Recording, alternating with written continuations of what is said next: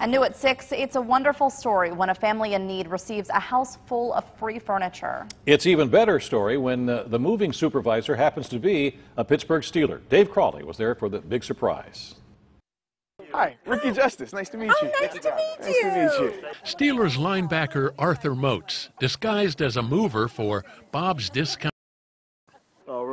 All right. Thank you. no problem, no problem. The friendly football star has teamed up with the Salvation Army and Bob's Furniture to deliver a house full of free furniture to a needy family in Avalon.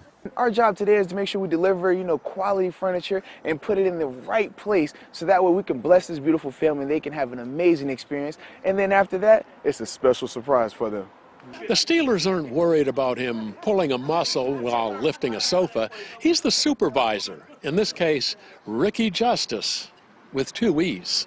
Ricky Justice with two E's takes supervising seriously. A little to the right, put your back into it, watch the wall, you know, and hey, great job.